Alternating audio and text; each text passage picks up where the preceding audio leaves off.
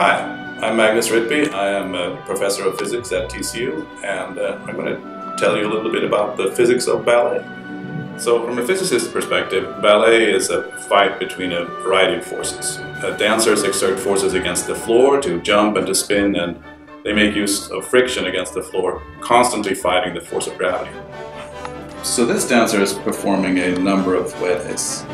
So, a force applied through the center of gravity of a body will result in a straight line motion, whereas a force applied off center will, will cause a rotation. We call such a force a torque. It's a tricky word, but it sounds good. Newton would have said that spinning motion will continue unless a torque is applied to stop it. In this clip, we show a dancer continuously applying a torque to keep her motion going.